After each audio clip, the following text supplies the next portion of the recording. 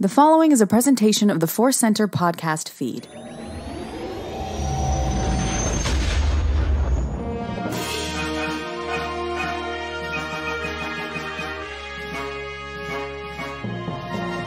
From the center of the galaxy, this is the Force Center podcast feed, and this particular episode is Questions of the Force and possibly answers. I'm Joseph Scrimshaw.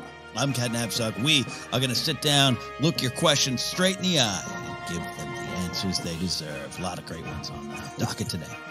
Yeah, very, very excited. So we want to let you know, as always, that today's podcast is brought to you by Audible. Get a free audiobook download and a 30-day free trial at audibletrial.com slash Force Center. Over 180,000 titles to choose from for your iPhone, Android, Kindle, or MP3 player. We are continuing to recommend Queen's Hope by E.K. Johnston. We have loved the two previous Padme novels by E.K. Johnston, so we can't wait to dive into that one. We'll be discussing it soon. And if you want to give it a listen, you can download that free audiobook by going to audibletrial.com slash force center. Uh, one more time, audibletrial.com slash force center. Free audiobook, Padme. Yay!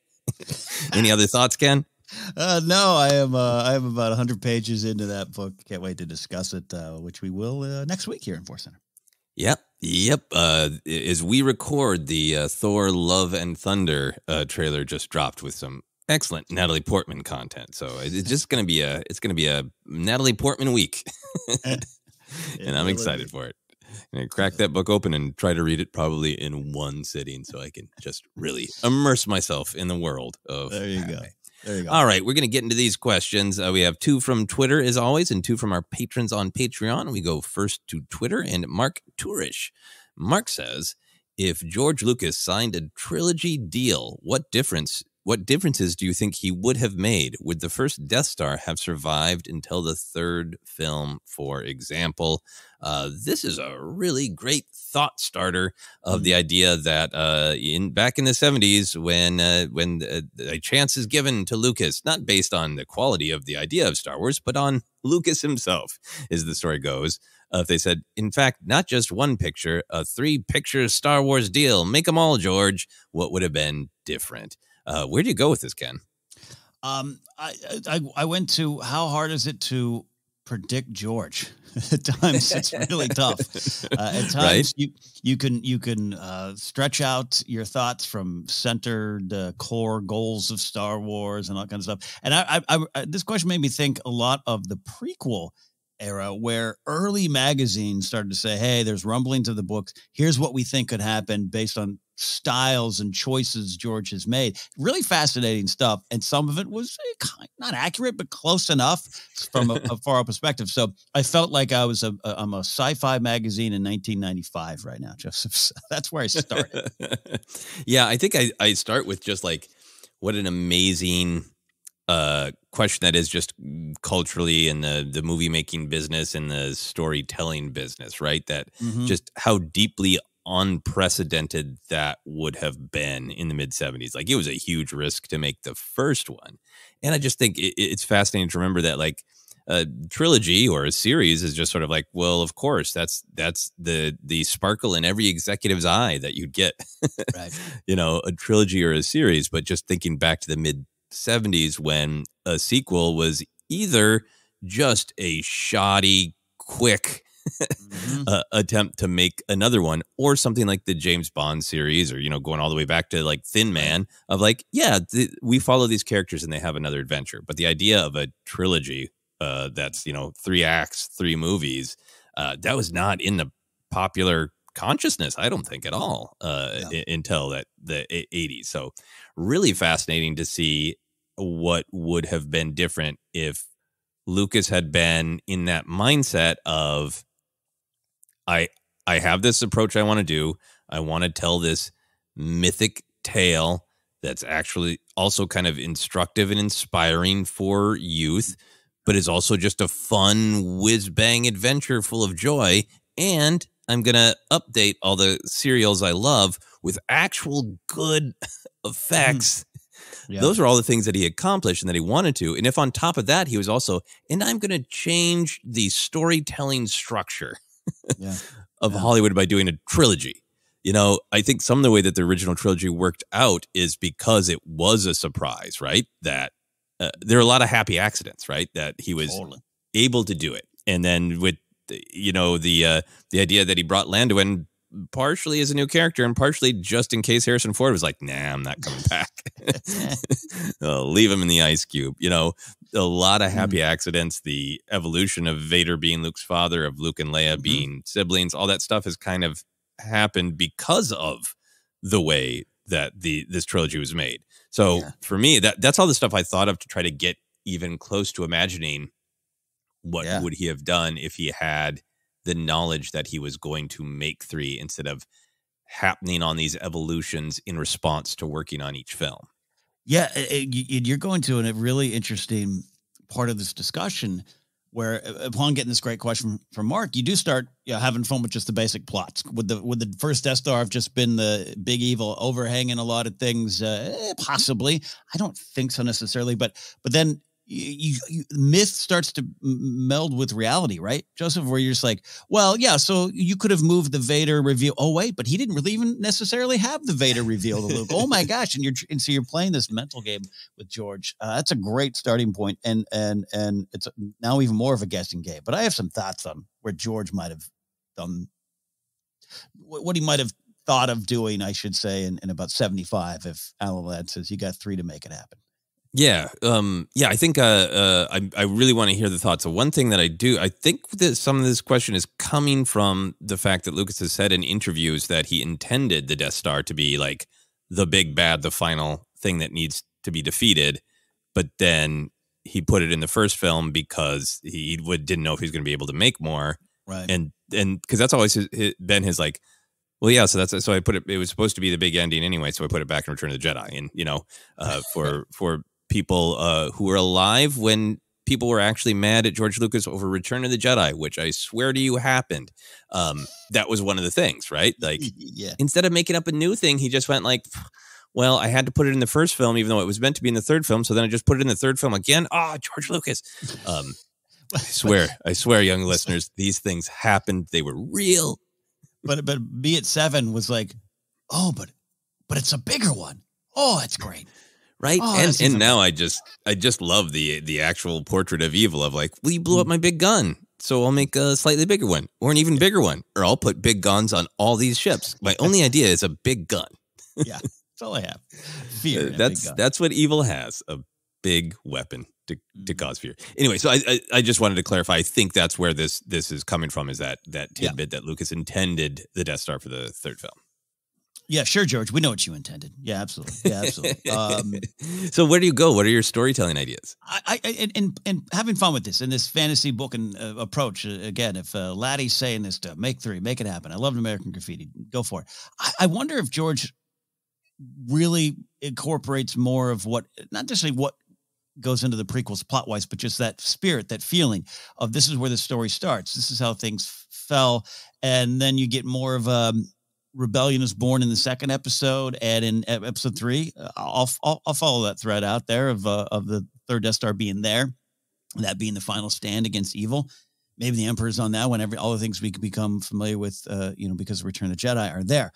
I just wonder and you know i love the star wars and i love the dark horse uh, adaptation of that that was uh, that was really interesting to read a few years back um, I wonder if how much of that survives and how much do we get, not necessarily young Anakin, not necessarily pod racing and a bunch of Senate chamber stuff, but a little bit more of the fall, a little bit more of him explaining this is how this happens.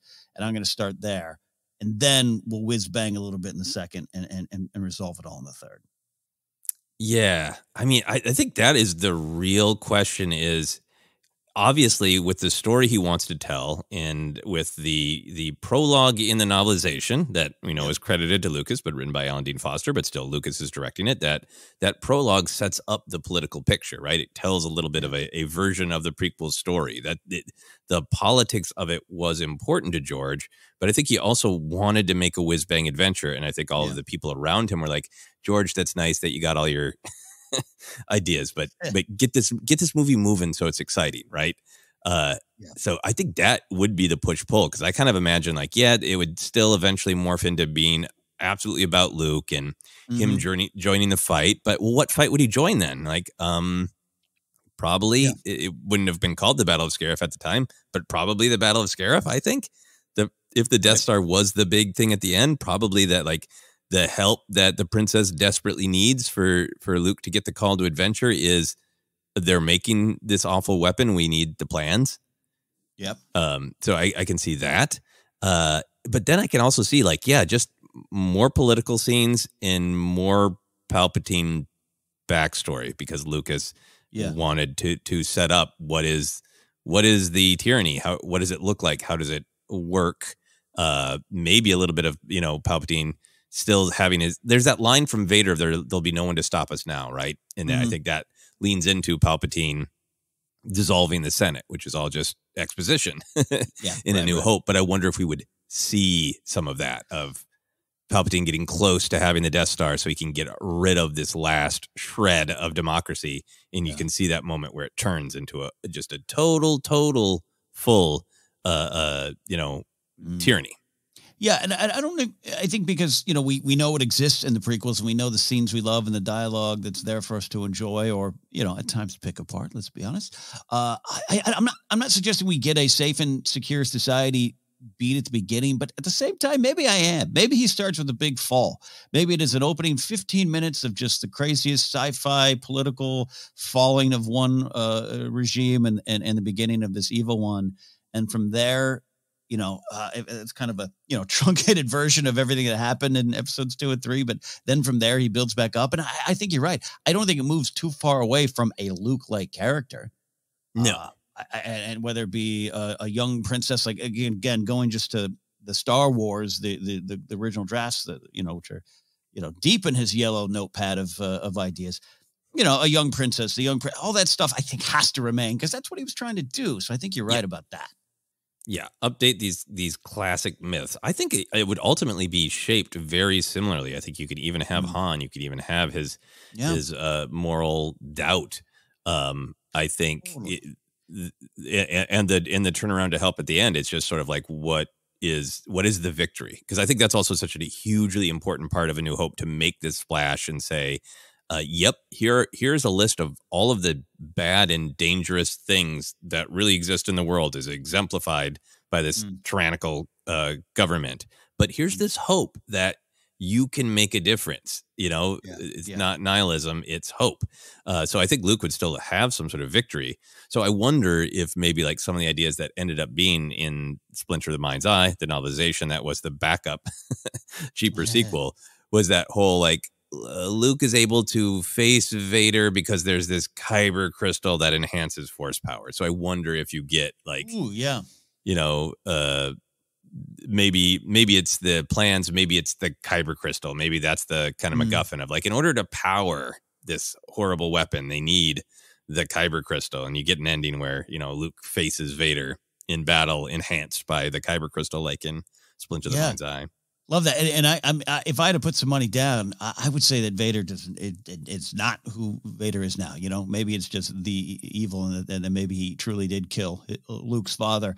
I wonder if it just if that would have carried out. I, I obviously love where we go. I think it's even more powerful. But I just, you know, at that time, I don't think George necessarily had that in mind, and that that could be, you know, the justice for for Anakin. killing this cyborg Vader or whatever it might be could be interesting. I don't know. Yeah, no, absolutely. I think the power of Vader being revealed as Luke's father is at least partially informed by the cultural response. You know, we all know the mm-hmm. the famous, you know, Lucas was a little worried about Vader. He's only actually got 12 minutes of screen time in the making of Yeah. the thing. And it's when he pops into pop culture that he becomes like one of the great villains of all time of It's of true. cinema of all time. And so that I think is partial part of what makes the the the Vader parentage reveal powerful of like we had a couple of years of people discussing what a great kind of return to classic storytelling you know uh, alec guinness giving interviews going don't think about it too much it's a simple story of good and evil and it it was that cultural reaction that lucas was Yeah. able to turn on its head of like what if Mhm. it wasn't as simple as you thought Yeah. Yeah. No, I think you're right, and and it's it's fascinating. Happy accidents, what you said up up up top, and I think that Yeah. works, in, you know, especially with the Leia stuff later. Yeah, and maybe Obi Wan survives. Who knows? My last Yeah. thought. Yeah, possibly. Just the first film. Just the first film. yeah, he would have been like some lizard with four arms, but yeah, he would have survived. exactly. Exactly. Get Obi Wan some spider legs, some robot spider legs, right? yeah. Uh, any other thoughts on that question before we move on? Uh, no, what what it was? Uh, this was I sat down to do the notes. I'm like, we're starting off. This is a great leadoff hitter. It's going to get a base still second score run. It's going to make my brain hurt because it really truly is. It, this is a great question that incorporates all that we know of the history of Star Wars and all that we think we know about George and what he will tell us at certain times on the journey about Yep. what he was thinking. Yep, I greatly admire the man. He says things very, very uh, definitively in interviews, and, and he says many different things too. So it is, uh, you know, I think at the Yeah. end of the day, he he is an artist, and uh, and the different you know structure would have influenced him differently for sure, and uh, definitely difficult to predict. Yeah. All right, we're gonna move on to our next question. Uh, Carl Axon Franzon asks, uh, listening to uh, uh, your recent episode made me think. Uh, what are the must-watch Clone Wars episodes? Maximum of twelve to get ready for the Kenobi series. Uh, Rebels Twin Sons, of course, also. So yeah, this is a. I suspect that we'll have some similar ones, but maybe I'll be Yeah. surprised, Ken. Well, I look, I think there's some ones that you, you kind of have to go to, and you know, and I'm not going to lie, I, I typed up some articles to make sure I wasn't missing anything, and I think everyone kind of goes to some big same ones, right? As you should, right? As you should. So that's part of this. So, and and I'm just Twin Sons gets uh, you know put on the shelf. Like I said, we're talking about Clone Wars episodes. So I don't know. Do you want to just list the ones that we probably think are on each other's list? Is this a game of uh, card game where we're go fishing here? Yeah, yeah. I mean, I think the thing is that yes, there because the Clone Wars has Obi Wan in many, many episodes, and there are many amazing Kenobi moments. If you're just a fan of Kenobi, uh, Mhm. but there are only a few arcs that are Kenobi centric. Um, Yeah, yeah. And tell us something new about the character, or he is challenged in a way that he's not. I mean, there are many episodes where he's just great and he's just sassy Kenobi. Yeah, telling Anakin how he's messing up. Uh, but for the ones that are extremely Kenobi uh, centric, and I think could really have bearing on the series, or at least uh, add nuance, uh, is that first Mandalore arc, season two, uh, episode twelve, the Mandalore plot, uh, episode thirteen, Voyage of Temptation, and episode fourteen, uh, Duchess of Mandalore.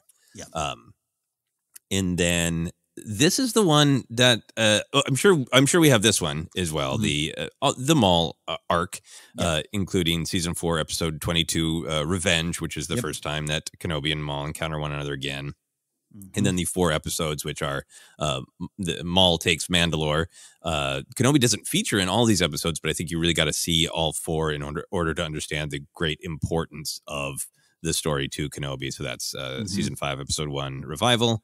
Season five, episode 14, 14 Eminence. Then uh, episode 15, Shades of Reason. And episode 16, The Lawless. The Lawless, in particular, being a huge one. Yeah. Um, I also think episode 22, uh, Revenge, is Mm. a really great and important one for Kenobi because I, until our recent Clone Wars report, uh, I had forgot how much Kenobi is uh, prepped to give in to actual desire for vengeance from all killing Mm. Qui Gon, and learns early on in this Maul conflict that that is not a road I want to go down, and that's a really essential beat for Kenobi. It, it really is, and, and and because Carl put this just just horrible, unfair limit of episodes on, I, I was trying to pick out specific ones, and yeah, Revenge and the Lawless, I think specifically, eh, but especially Revenge, and I think you're right. I, I, and and it seemed like where they where they cross sabers again for the first time. That's so huge and something I think I kind of forgot until we did the Clone Wars report.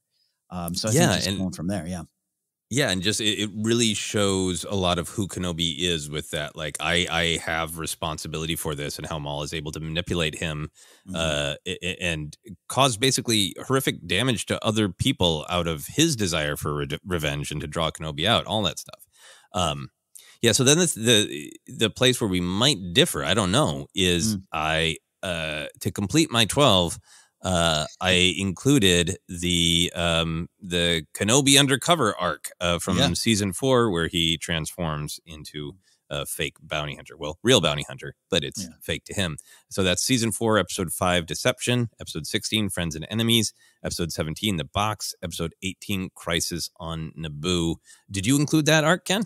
I did include that arc. I, I think for some reason that one's it's not that it stands out more. Let me let me rephrase that before I finish that sentence. Uh, the, the Maul and, and Satine stand out more than anything with the story of Kenobi. But there's just something about that as it relates to Anakin, and as we go into mm-hmm. Kenobi, that I think is just so valuable if you if you're trying to get that full picture. Yeah, I think what I totally agree, and I think what's really powerful about that arc is it's a portrait of uh absolutely committed Jedi Knight Obi Wan Kenobi anything for the mission of mm-hmm, mm-hmm. Uh, uh, yeah of course i'll go through this horrific process of transforming my body physically yeah, into yeah. a bounty hunter and then i'll go through this really arduous task of trying to get these bounty hunters to trust me and not give away uh, that i'm a jedi but not let people die pointlessly all around me it puts them under this real pressure cooker and then the really big thing of like uh, no one will believe this if Anakin isn't upset.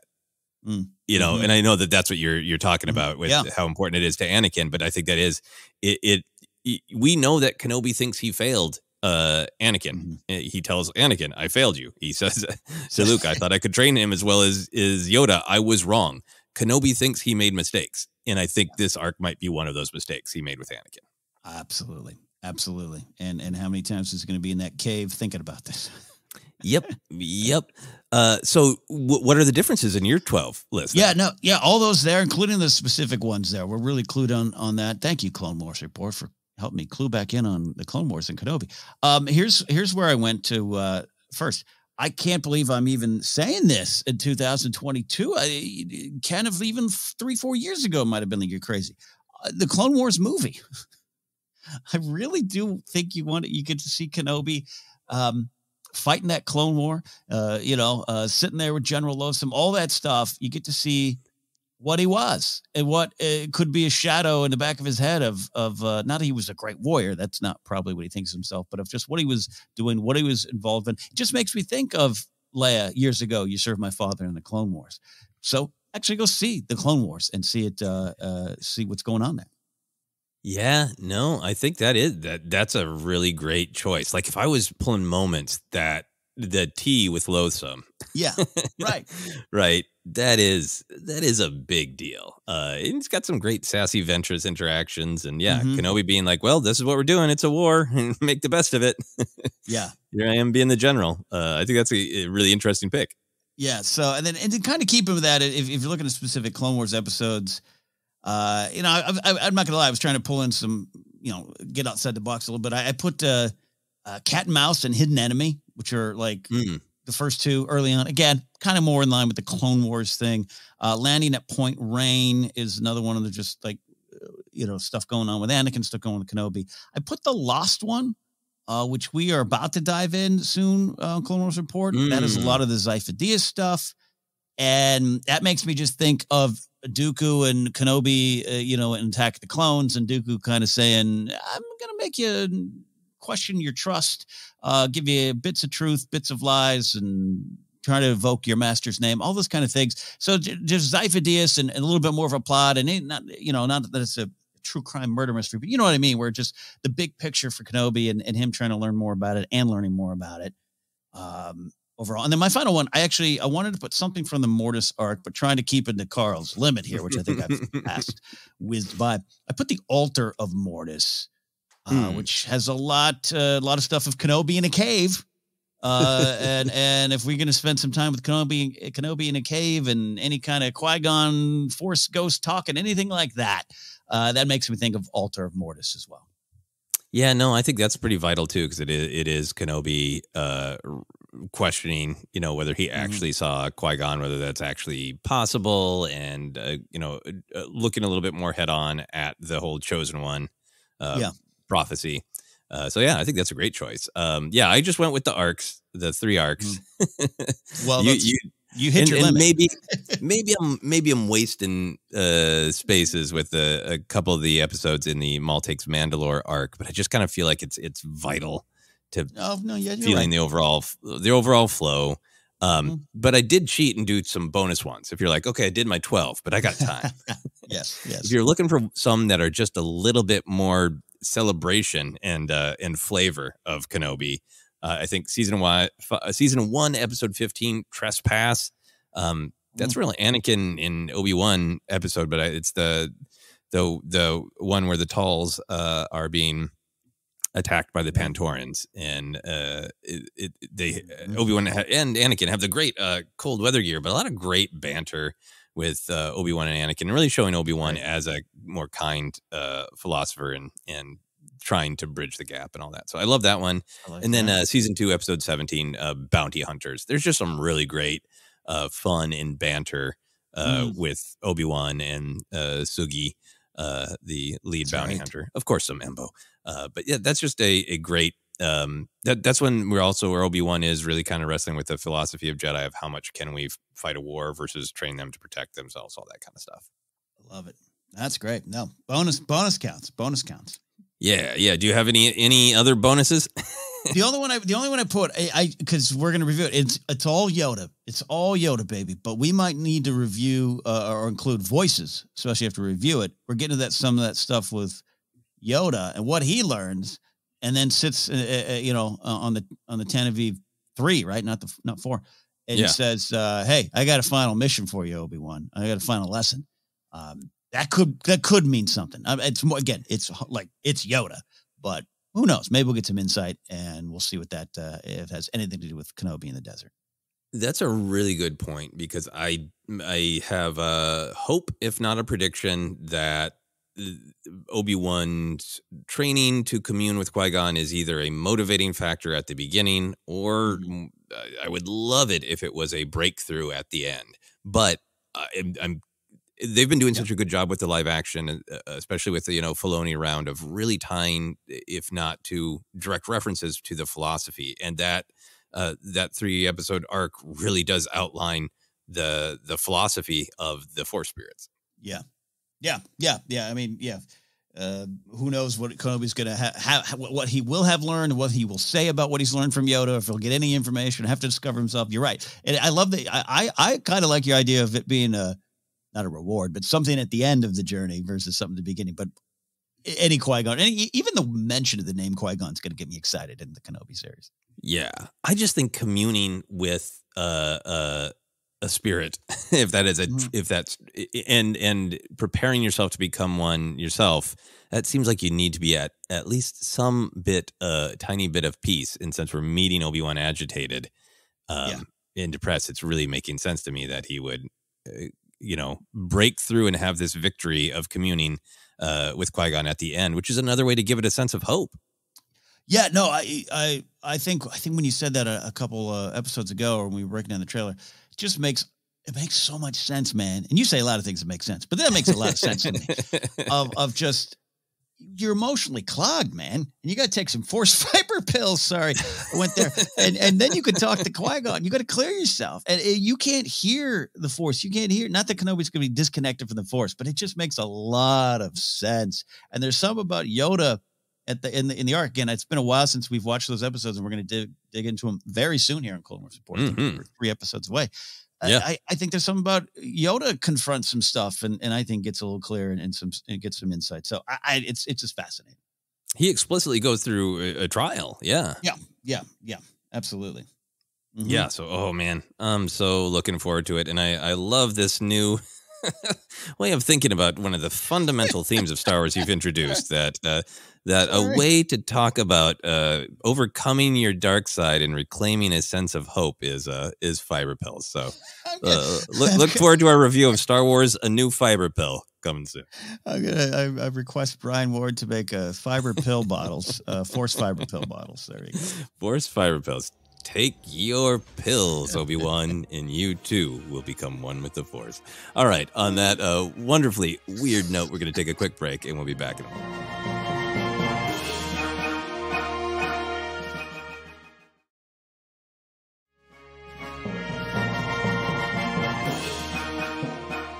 And we are back to take more questions of the Force. These questions come from our patrons on Patreon. We're going first to Brittany Lockwood.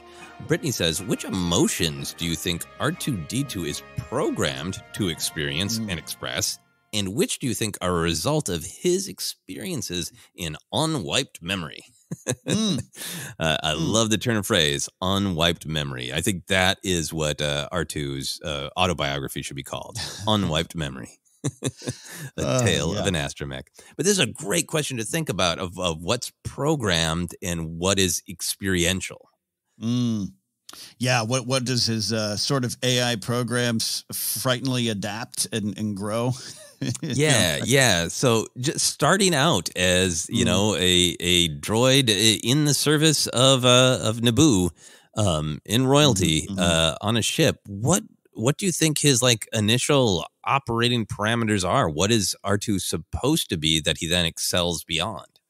Yeah, and then um, you know this was also a, a, lesson in. Let me look up what actually are listed emotions. Let me watch a Disney Pixar movie to learn what's what counts. Because I, I, but I think I, I, I get to those. I think in the beginning though, it's it's it's it's uh, emotions slash mandates in a way of of. Yeah. Uh, uh, I put things like uh, you know strength and courage uh, in in in that uh, you know in duty uh, so loyalty and again, I know these aren't direct emotions. I'm just throwing a bunch of stuff on the wall here. Um, and and, and uh, connection uh, uh, is something there too. His a sense of uh, R2's a, an individual in his own way. We know that. Sassy is one thing he's probably programmed to have as well.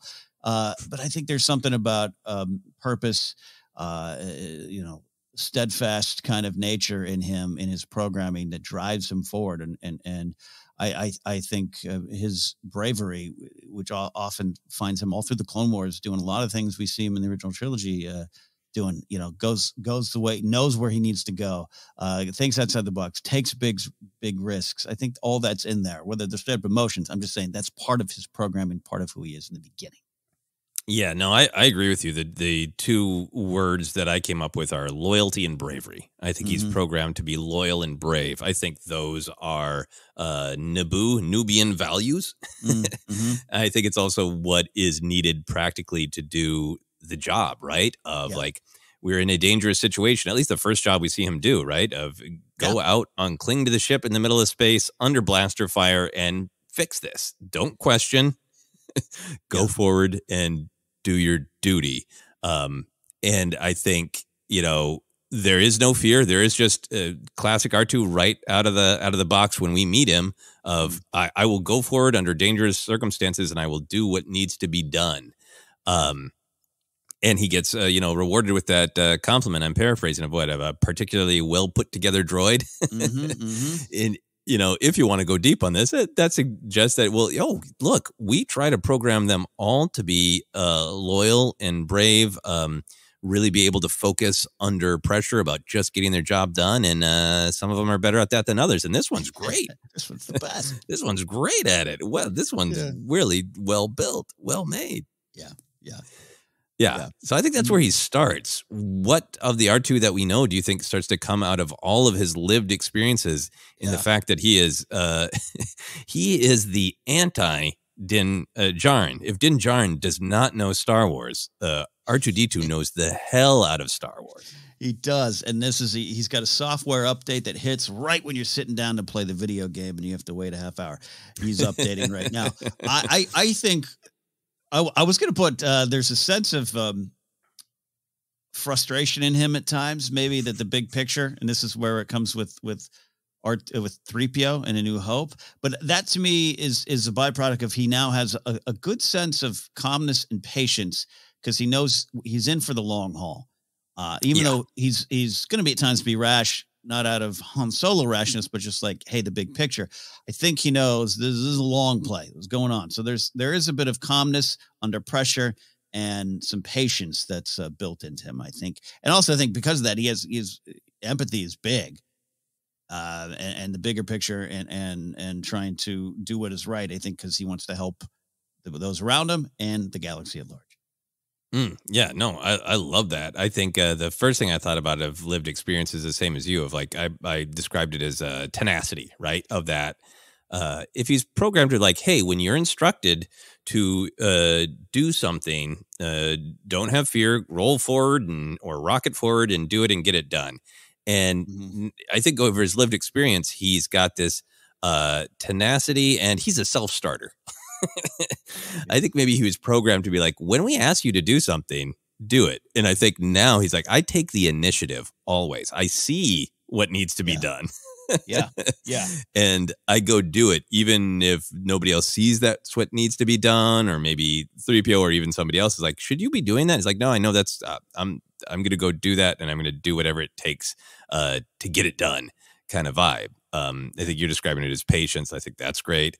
Uh, there's that passage, I believe, I can't remember which book. I think it's a Leia book where she's talking about like haven't given R2 anything to do. So he's just off like memorizing uh, new Yeah. systems in case he needs to know them. like this idea that he's like your friend who's like, uh, you tell them like, well, uh, for this weekend, and I really needed to decompress. I, I took a break, and like, what did you do? And they're like, I needed to decompress too, so I remodeled my entire house, and I, you know, Yeah. went for eight. Uh, Yeah. I, and I did, and I did three marathons, and you know, learned to cook a new food. Like, and, oh, that was your relaxing weekend. Like that is R two. Um, Uh, yeah. Yeah. and then the lived experience, I think, also has just made him uh, frustrated and grumpy and giving him that potty mouth. Oh yeah. Yeah. Right. He- He- he's- yeah. Sorry, he's he's been there, he's seen it, and he's got Yeah. an opinion about it. What, what were you going to say? No, no, the frustration is big, I- and I think that's always probably probably been there. But I, I don't necessarily think the R two we meet, uh, you know, coming out of Naboo is is overly or easily frustrated, right? I think he's Mm-mm. he's he's just discovering his big purpose. He's been probably pretty bored for a while. He's like he's probably like, yes, action. I get to go out on a ship while be. I did lose some friends, but yay, you know. uh, but I think it starts to uh, happen. I mean, all the things he's seen and all the characters he knows, he's the droid who knows too much, uh, but is able to keep it secret. So I think I think that is true. I also put these the, these two uh, final ones here, um, and, and hear me out on this. There's a little bit of fear that has emerged, but I don't mean fear that's going to lead to bad things. I think I'm trying. Maybe I'm trying to explain it more as like a, a real understanding and almost a. Uh, you have to respect the evilness out there. He's he has that understanding of it, which is drives him forward even more. It's it's a I don't want to say healthy fear, but you know that thing of just like, hey, this ain't fun and games anymore. Um, I was on Mustafar. Uh, I saw how things can get, and and whether he knows uh, Anakin's Vader, or Vader's Anakin, um, doesn't really matter to me. He just he's he's seen the you know I've seen some bleep man. I, I I've saw I saw that safe and secure society uh, shroud fall down. You have to take it serious. You have to have a healthy respect for it. From in a way, we're going to topple it. We're going to take it down. That's why I'm here. That's why I'm running off on my missions in the desert. But I understand, and I've seen it. Yeah. Do you, think know? he's kicking himself? He's like, I rescued that a hole Palpatine from the Zillo Beast. Man, yes.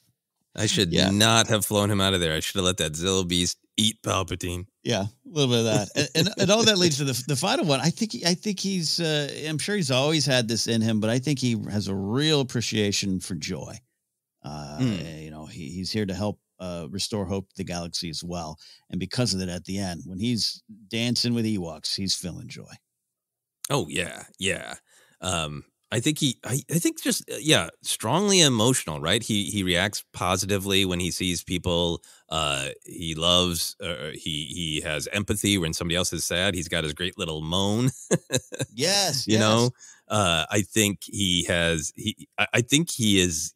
You know, it's got that tenacious uh, vibe. I love him being in charge of the all those droids building uh the hut on on Luke's Jedi planet that we see in in the book of Boba Fett episode. He, like he's like the you know proud construction manager you know? Yeah. but I, but I think he also kind of he enjoys uh making Din Djarin wait you know?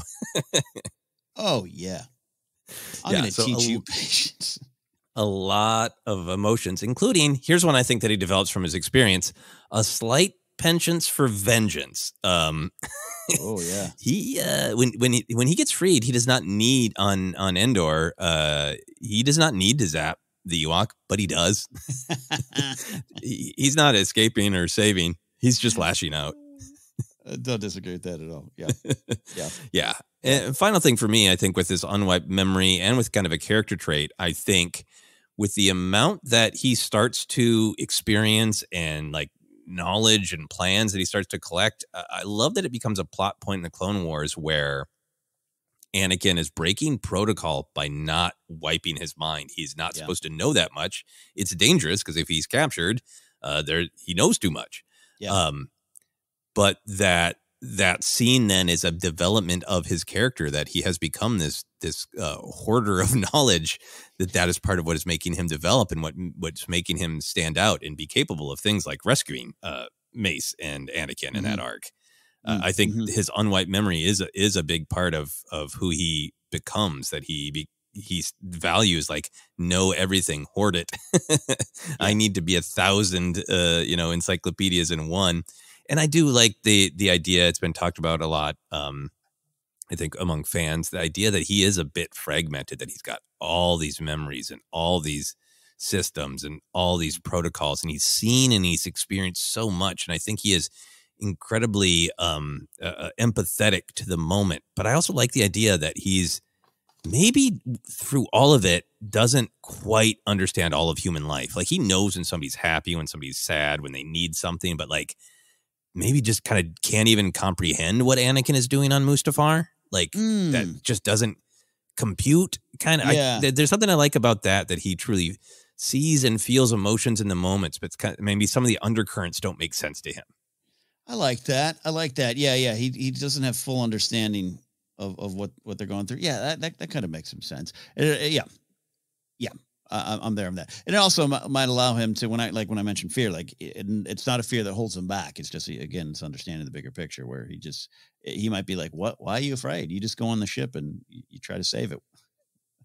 Yeah. No, I mean he, he no, I mean he's he's got moments of like uh uh I think reasonable fear. Yeah. and uh like yeah, He, I he knows to his, hide like- from the Tusken Raiders. Yeah, yeah. Oh yeah, he knows the hide from the Tusken Raiders. He knows it's a problem that uh, at the beginning of Revenge of the Sith, when Obi Wan's talking too loud on the comm and exposing his position. Yeah. He has lots of great moments. Like, uh, and- and I love it when he's like, "Yeah, I know, I know, I know that Bib Fortuna is not the kind of person you want stroking your dome." Mm-mm. Mm-mm. No. Uh, any other thoughts on R2's development before we move on to our final question? Uh, Well, here's here's my one. It, it's just got me thinking about R two, all his emotions and what he knows. I don't know if he feels stress or feels the weight of everything that he has inside him. Do you think at any point he has just confessed something to like some random gonk droid? Like just sitting around, he's like, "Hey, let me tell you something. Let me tell you something. Here, let me go back to the beginning of who's who in the zoo. Here, here's what we got. I just got to tell someone. I think so. I really there's something about R2 that just he he does just feel like this like uh kind of talkative lifer uh Mhm. that's just been everywhere and seen everything and and knows some stuff and is happy to share it. Like I think, you know, I think I think some gonk droid just uh, plug it into something and R2 would be like you want to talk about Yeah. plugging into things? Let me tell you about the time I plugged into X, Y, or Z, and then this happened. You know? Like if he got in that cab in the Clone Wars era uh, with our favorite cabbie, the one that uh, you know uh, uh, Fives just said everything to, uh, Yeah. I, I think R two would be a dangerous combination. Yeah, I think once you get him going, mm. Yeah. yeah, I love that. He, R2's a talker. Yeah. Uh, he's got a lot to say to Luke on Ahch-To.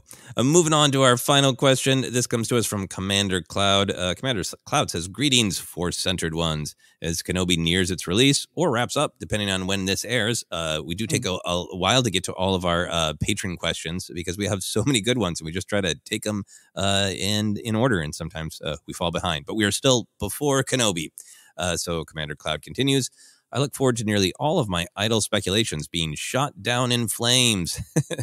it's nothing new as I've been way off in the past, and not just speculations like Rey is Luke's daughter or that's Plagueis' staff.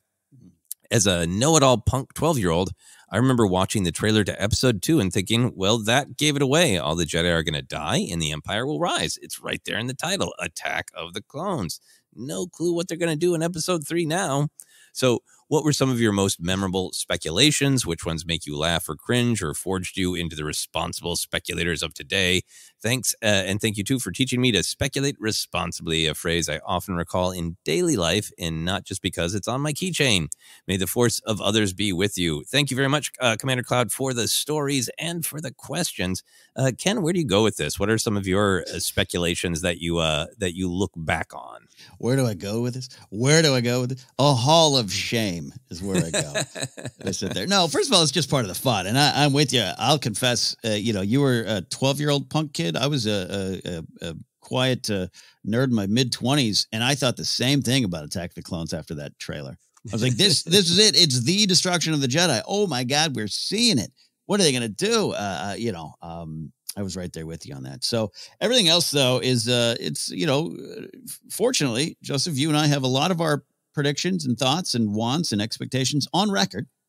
Um several different shows across many platforms and mediums.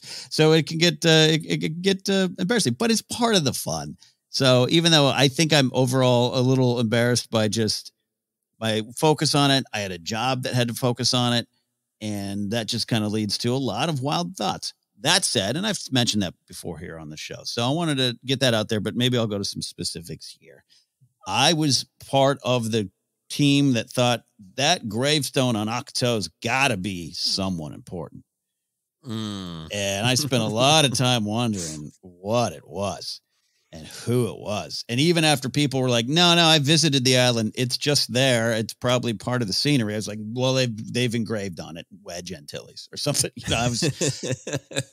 it's big dark letter. Like I I was right there. That was of all you know the the Plagueis staff of it all. Blah blah blah. And yeah, the Rey the Rey's parents one you told me that's a separate uh, category.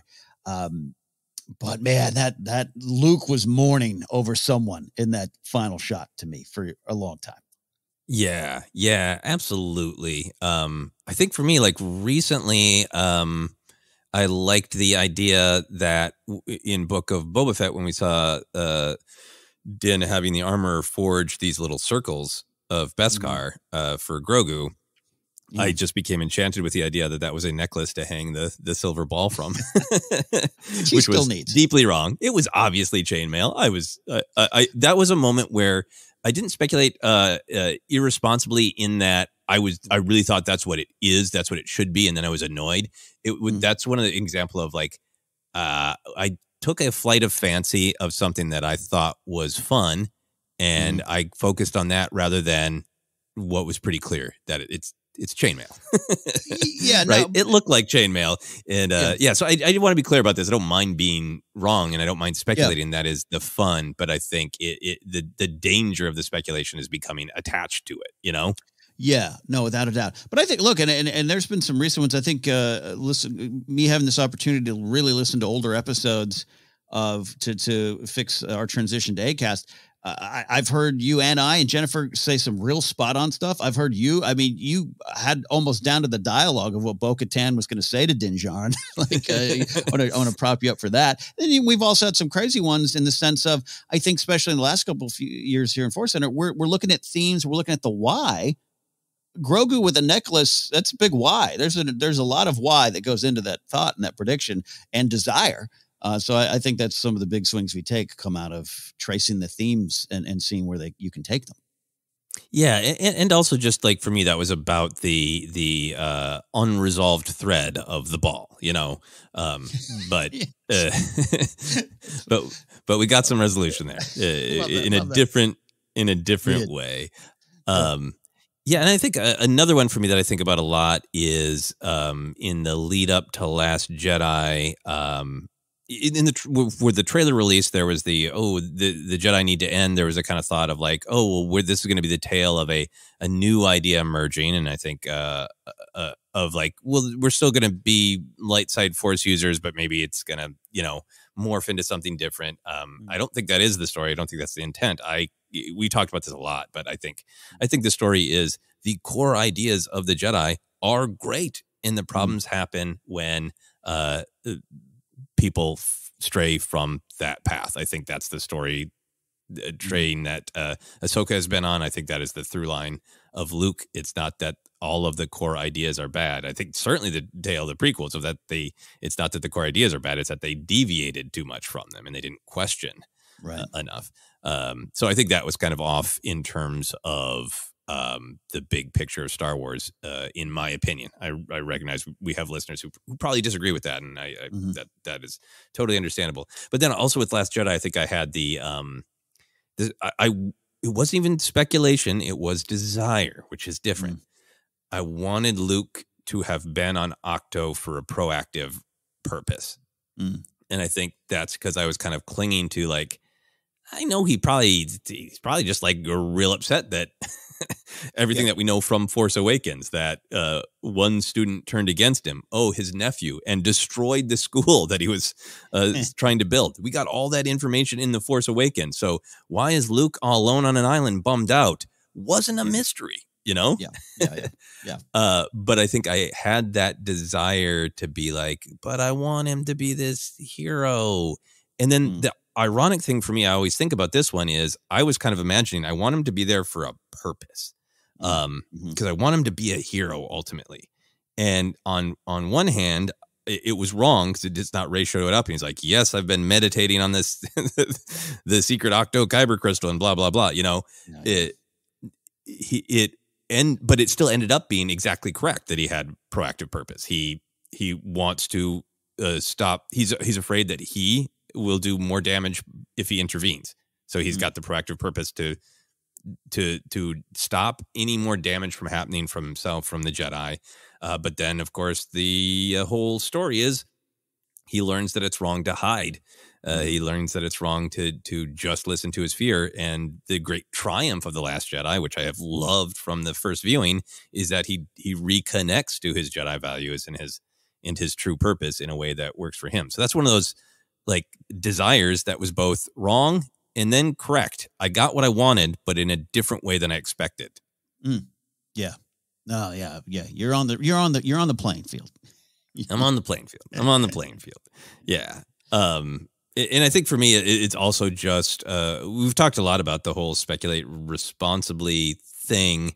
Uh but I think I've been thinking about it more recently about how much the last Jedi discourse not even any of the storytelling in The Force Awakens or The Last Jedi, but for me, the discourse in the lead up to Last Jedi really drove home what you were saying about about the the conflicts in the themes in mm-hmm. the uh, needs of the characters that the why is so much more important than the who or the what the mm-hmm. who and the what is really fun to speculate on and I, I don't think we we should ever not have fun. It's right. you know we get questions about who might pop up in Mandalorian season three, and that's really fun to guess. If a mm-hmm. a story does set up a mystery of somebody is behind something, but we don't know who, it's really fun to think of who.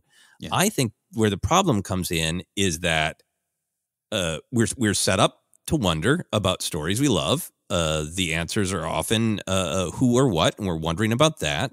Mm-hmm. Um, but I think because social media lacks nuance mm-hmm. and because clickbait is rewarded uh, by algorithms, I think we've put so much surface on the focus or, yeah. or, so much focus on the surface question of who or what that I think we've lost a little uh, a little too much cultural focus on uh, the answers only matter because what they mean mm. for the story and the characters and any sort of uh, ideas that the story wants to communicate about who we are as humans, what our culture is, yeah. why we exist, what we should be trying to do. Those are the things that matter. You know, yeah. I, I, think uh, Alex's great video that he did, uh, uh, Star Wars Explained about Cad Bane, it was just such a great example of of somebody who is a leader in the in the YouTube field. Mm just speculating so damn responsibly of like, I do want Cad Bane to show up. Mm-hmm. I like Cad Bane. He's awesome. He's cool. But why would he show up? Here are the reasons it would matter to Boba Fett. That was such a great video, and I just, I, I, I just, I want us to be mm-hmm. uh, doing more things like that. The who and the what is fun, but we can't uh, leave the why unattached from it. No, and when you and you, when you weigh things by the why, then you either find the meaning. And it doesn't mean you always agree with it or, or, that's what you want, but like the great cameo debate and, and what's nostalgia and what's to serve the story and what's, you know, that nostalgia baked in. I think that's where, we, you know, you can, you know, just analyze it better for yourself about what you actually like when you weigh the why. Uh, and, and I'll, you know, if you catch me, you know, if you're chatting Star Wars with me on the, the porch of the comedy store and you have a great theory, I'll, I'll nod and smile and think it's great. Uh, but I think in the last year or two, uh, I, I, I will now take a sip of my drink of choice and say, but why? Tell me why. Tell me why. And then we can have that conversation. And a lot of folks have the great answers, by the way. Um, yeah. Think of the why, weigh the why. But yeah, I think I think that fuels a lot of it. And it didn't fuel a lot of my predictions in the past. Yeah. Yeah. me too. Me too. Uh, any other thoughts on this uh, great question about uh, speculating responsibly? Well, yeah, I just want here's here's some. Can I share some misfires? Oh yeah. um, I was definitely on a Ezra Bridger Bridgers in episode seven, probably uh, Max von Sydow. Definitely thought that Oh. was going to work. I don't know Nice. if math worked out. I uh, uh, man, I I really was convinced uh, Zier Leonis was going to be related to Finn in some way. Which is uh, Mm. not the best thought too, uh, but also it made some sense. We we thought it was uh, more connected, right? This is all going to flow into something, and and I was that was that was off base. yeah. Yeah, in a lot of ways. Uh, yes. Yeah. Uh, Yeah. Any other misfires? Those are good ones. Yeah, uh, yes. Uh, so I was on a uh, there was an old movie debate show I would always be on, and uh, they brought me in specifically to be a ringer for uh, the, this question of uh, we'll predict what's going to happen. Pitch episode eight had I had a great one. I won the round, by the way, uh, but it, it was based on this idea. This uh, you know some things are right. There's a vacuum of power, and you know, not right, but just you know with a little bit of what we got in Last Jedi. What's going on? The First Order is trying to t- claim the, the the the spot there, take the power. But I had this idea of kind of this three-way dance. It was uh, you got Luke fighting uh, Kylo, but Kylo's fighting Benicio del, del Toro's character, who's very clearly going to be Snoke's other apprentice, and then Luke and maybe Kylo fight Snoke. Now, my question to myself is, where's Rey and, and all that? I don't remember where I put Rey in that story, but probably there's somewhere, which is why it was all bad. So, uh, yeah, uh, it was a great, great thought, uh, big thought, a lot of uh, pieces on the board, a lot of uh, a lot of what's, a lot of hows, but not a lot of whys. And so there's that one. And then the final, oh, the final one, I, I put this down, the Phantom Menace trailer. Oh. I was I and I've said this before, even recently. As much as I love the Phantom Menace and keep loving the Phantom Menace more and more, I think it's an important film now. Uh, always, you know, that's been growing with me. But even back when I didn't like it, I used to always say, "Man, that trailer's so great. I love the trailer. I want to know what that movie is." What I meant by that is, it, it, it- over the years, it's either been a great insult or just me wondering. I just, I that that's that trailer, all of them, but the, I'll put all the trailers together. I just, I had the movie in a different order. I thought the pod race was a chase. I did think there was going to be a big war in Naboo, but not the one we got, not let of a blockade, but people needed to go there maybe after some people sca- I don't know. And then I did think because of uh, Palpatine say and wiped them out, uh, all of them, I thought the Jedi were going to start going in Phantom Menace. and I imagine all of those uh, assumptions affected your first viewing of the Phantom Menace. Yes, an early lesson in when your expectations can hamper your enjoyment. Yeah, yeah, and that's a to to, to bring it back to uh, this great question from Commander Cloud about Kenobi. I think that that's the thing too is just always realizing like there are a lot of ways to tell a story. So if you have like a, a character that you want to appear or Mhm. a like- with Kenobi, like uh, we're talking about that. uh, What if what if his ability to finally connect with Qui Gon is a, a- sign of his his success and coming to peace at the end of it? That's Mhm. an idea I love. That is one way to write that story. Yeah. But I don't want to limit myself to. But what if the writers have a different idea? You know, it, Mhm. uh, putting putting any story together is uh, putting together a, a puzzle, and sometimes a piece that's cool just doesn't fit. You know, Mm, mhm. uh, and that's the other thing I think to really remember about speculating is like your example of yeah, it'd be really cool if uh, the three day fight between Luke, Kylo, and DJ Benicio del Toro, uh, uh, Snoke's uh, second apprentice. That's really cool. That's a piece of a puzzle just floating with Yeah. no connection to anything else. So I think even when you you come up with an idea of a of a puzzle piece that has a why and is cool, just remember that like that that is that's a puzzle piece. That's not the whole story. So like if if something I'm really excited about or hopeful about for Kenobi because I have so many speculations about Kenobi, Yeah. if if one of those puzzle pieces doesn't fit, that's fine. I just want to enjoy the story that is being told. And if, you know, one cool thing doesn't happen, it's probably because it didn't fit in the story. You know, I just I, I there isn't there isn't Uh, I in my opinion there isn't right and wrong. Stories are subjective. They are flowing organic things to- told by humans or a group of humans that hopefully a little bit of those human souls are in and those souls mm-hmm. are different than mine and that's what makes it interesting. I yeah, yeah. I just really want to approach things not as right and wrong. They should have done X and they did Y instead. Therefore, it is bad. I personally just don't. I don't want to be that way. yeah, I want to. I want to feel like this is flowing and organic. And I thought it would be cool if the river twisted this way around a mountain. But you know what? Mm-hmm. This human made a waterfall there, and I'm going to try to enjoy that. Yeah, yeah, no, uh, no. Uh, this is a large, a larger conversation. I've mentioned this even in joking, passing, uh, uh, uh, passing through on the show before. Here, uh, um, I'd like someone smarter, clearly, that can uh, then put a sentence together. Not, not like me here. Um, to to analyze our our connection to like what we want in endings, what we want in stories, and and how time and time again endings so often break us as fans. Uh, mm-hmm. I, am not a f- I'm not familiar with the show, but my fiance is. But I, you know, Killing Eve just wrapped up, uh, starring uh, Rey's mom there, Jodie Comer. And there's so much debate and talk around. Oh, they did. They the ending was bad. The whole last season was bad. And and again, I don't know the details of it, but I, I just would love. I don't. I just would love to study where that comes from our expectations, where we want that river to turn, and why we can't let go of it and and doesn't mean every show has been perfect. Uh, maybe you didn't like the Seinfeld characters ending up in a prison and a jail cell. I don't know.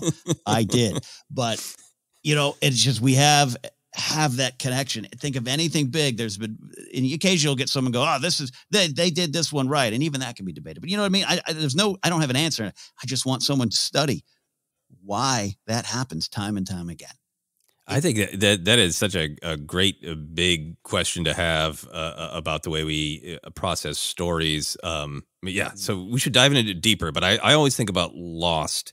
Um, I haven't seen it for years. I am not a mm-hmm. Lost expert, but I remember being really satisfied by the ending of Lost because I felt like the characters all did the thing that they deeply would do and needed to do and wanted to do.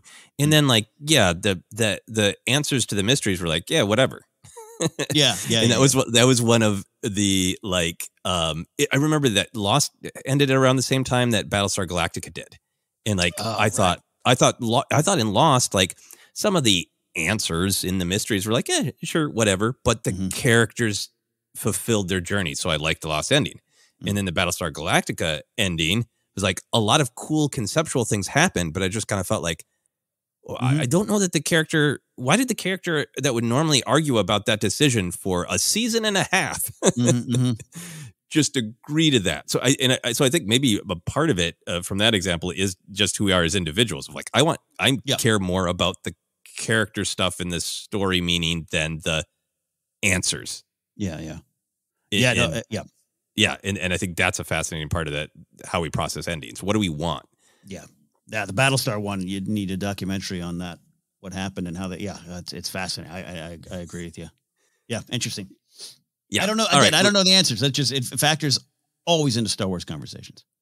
It really, really does. Yeah, a lot of, a lot of big ones, including you know a lot of the uh, the tension about the sequel trilogy of should it have just been a happy ending? right. The Ewoks dance and leave it alone. Yeah, yeah, yeah. A great uh, discussion for another time, as Maz Kanata would say. Uh, that is our episode, Questions of the Force. Ken, do you want to let people know where they can find us? I'd love to. We're the Force Center Podcast. You can find us on Twitter at Force Center Pod. We're on Instagram, YouTube as well. We'll have another live Q&A show soon. We'll let you know when. Facebook page is Force Center Podcast. Podcast available on ACAST, iHeartRadio, Apple Podcasts, Google Podcasts, and more. Just search. You'll find us merch available at teepublic.com slash user slash Force Center. Go there and get your Speculate Responsibly t-shirt and wear it before you see the first episode of Kenobi at Star Wars Celebration.